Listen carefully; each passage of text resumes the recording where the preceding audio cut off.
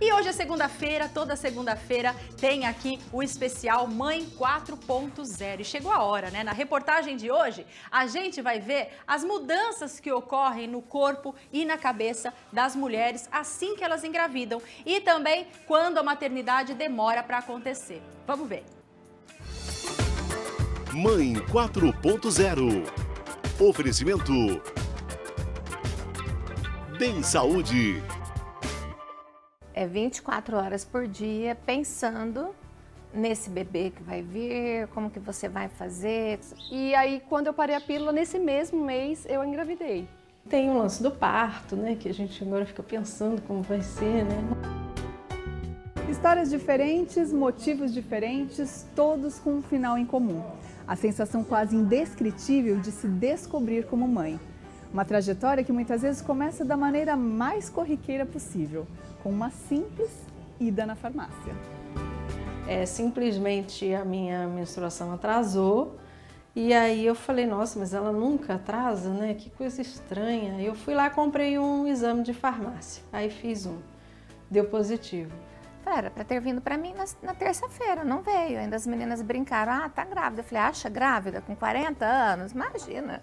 Fiz um teste, deu positivo, mas eu falei, ah, fiz errado esse teste.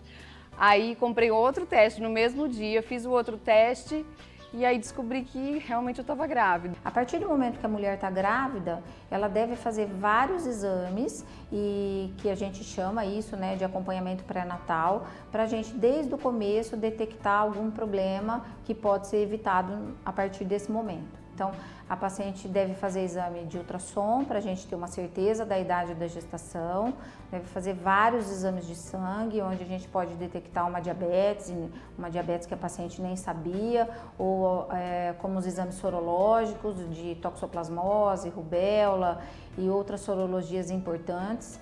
É, todo cuidado é necessário, até porque são inúmeras as mudanças no organismo que está se preparando para gerar um novo serzinho. Tudo muda.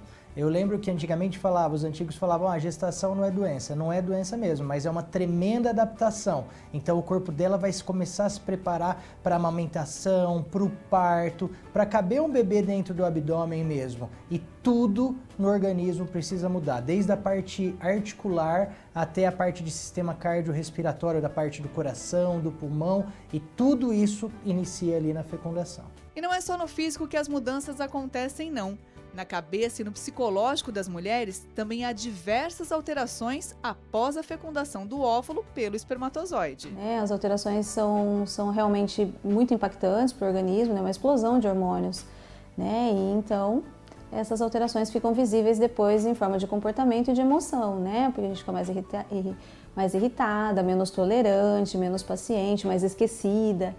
Agora, Aline, isso foi teu parecer como psicóloga, né? Mas tem um detalhe importantíssimo: você tem 41 anos e está grávida do primeiro filho. Então, assim, me dá agora o seu parecer como mãe, como mãe 4.0. Eu fiquei mais irritada, mais irritada do que sensível, bem mais irritada, assim, os nervos à flor da pele.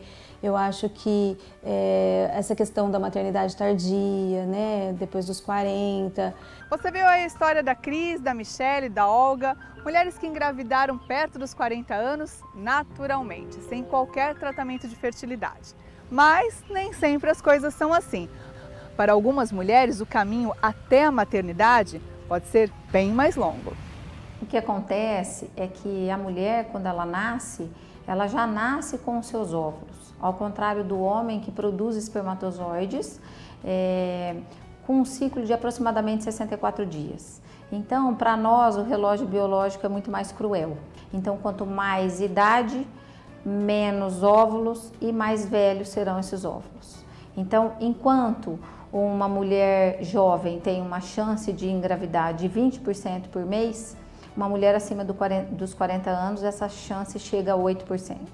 Foi o que aconteceu com a Ciomara, que casou novinha, com 22 anos, mas passou outros 16 tentando engravidar até decidir pela fertilização in vitro.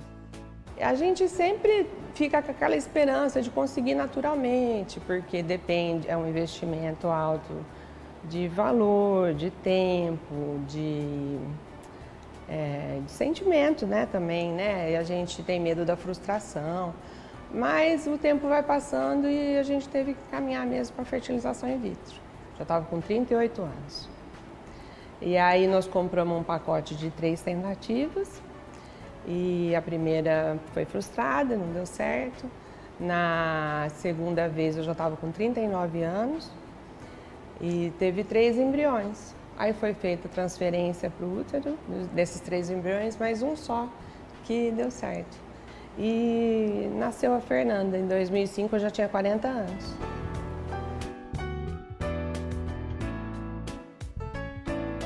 O que eu posso deixar assim, que eu posso falar que foi impactante demais foi conhecer aquele ser que ficou dentro de mim todo aquele tempo e que agora estava ali nos meus braços e todo o amor que a gente estava guardado é, realmente estava concretizado ali, né? Naquele, naquela criança, naquele bebê ali tão pequenininho que significava tanto para nós. Na próxima reportagem você vai ver as dificuldades enfrentadas pelas mães 4.0 no comecinho da gravidez e a ajuda fundamental de um curso de gestantes. É na segunda-feira, aqui no SBT e você. Mãe 4.0. Oferecimento. Bem Saúde. Muito bacana o quadro, com bastante informação, toda segunda-feira aqui, tá bom? A gente acompanhando aí a gravidez da Patrícia e dando informações importantes, né?